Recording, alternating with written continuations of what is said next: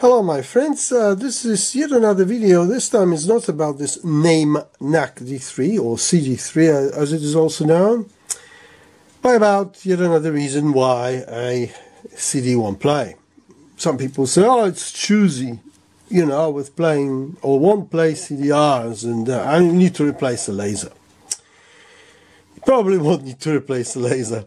Uh, and I'll show you another reason why a thing won't play. You put the puck on. This is the original Naim puck.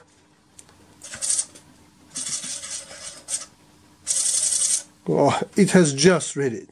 But as you observed it, uh, it read table of contents. Probably if I need to press, if I press play,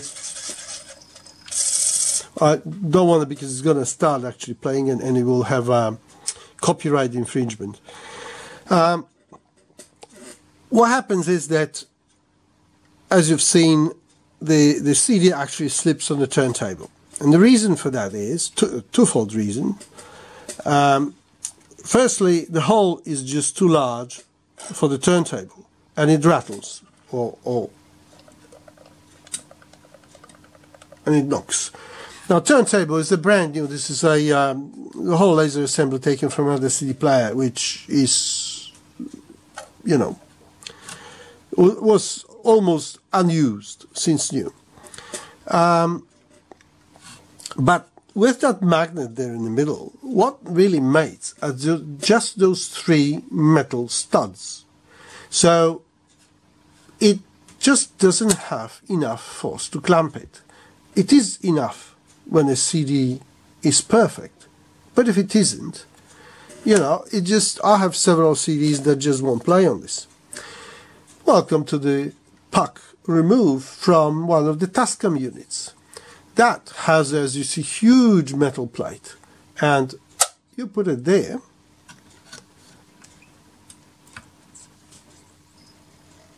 None of that happens. You see how fast it read. And, you know, if I play it, it just starts playing. I'll probably that it's nice music, but I won't uh, bother you. But you say, oh, well, this is CDRs. Well, here it is, black market CDs from the 70s. It does the same thing. Well, made me a liar. This time it, it actually uh, uh, read it, but, but it, it has difficulties. And of course, the reason is that this rattles even more. But of course, if you put that CD and use a proper puck, doesn't rattle at all, all silent. So, you see, non-original pack actually is better for this player.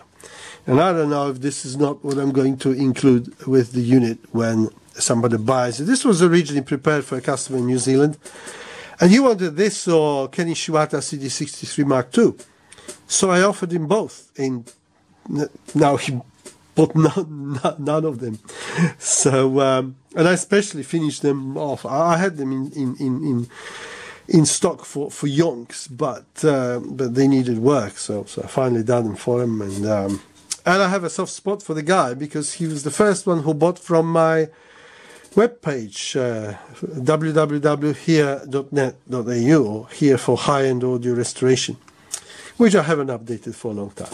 But that's all, folks, and um, the next one will be about this uh, Sugden pre-power amp we just recapped over there. Real vintage stuff, like 50 or 60 years old. Bye-bye.